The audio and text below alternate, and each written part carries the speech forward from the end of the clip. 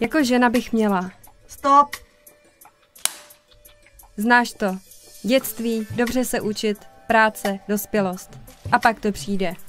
Kdy Budeš? mít děti? Občas to ale není lusknutím prstu, ale naopak docela výzva. Výzva, která vyžaduje tvou odvahu a trpělivost.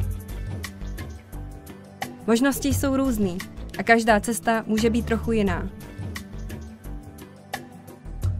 Někdy jsme odhodlaný jako indiánky, jindy zase vůbec.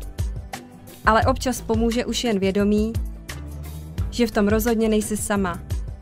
Já taky. Já taky. Já taky. Já taky. Já taky. Já taky. Protože s námi můžeš o všech těch výzvách mluvit. Tak jen buď. To stačí. Indiánky.